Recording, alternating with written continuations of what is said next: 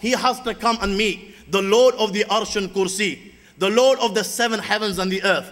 And he has to come and stand before Allah in such a condition. On that day, my friend, there will be no barrier.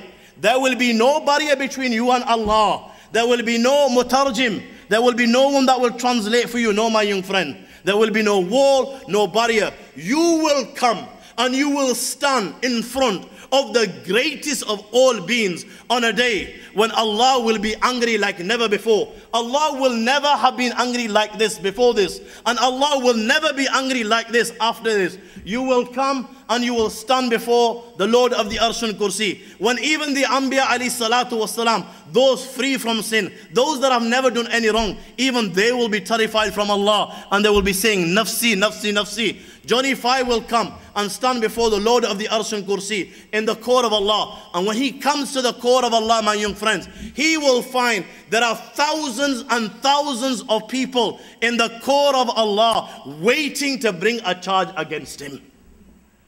These are the same people who he used to steal from to fulfill his habit.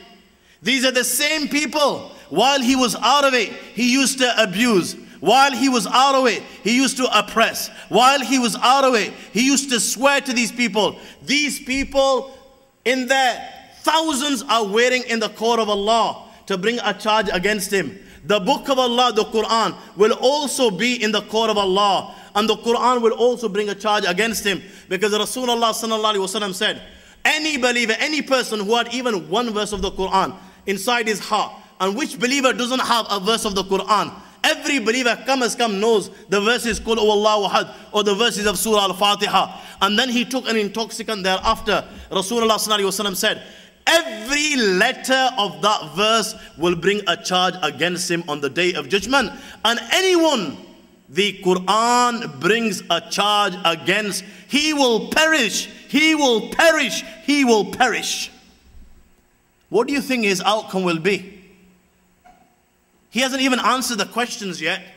He hasn't answered any question, and the questions will be there. I gave you a life, 50 years of age, 60 years of age. You know, some of you even clocked a century and you were 100 plus. What did you do with that life? Did you fulfill your purpose in life? I gave you youth so that you could, you know, worship me even more. What did you do with your youth? Your wealth, where did you get it from? Where did you spend it? Your knowledge, what did you do with it? What will his answers be? My friends, never mind the day of judgment, I can tell you his outcome now.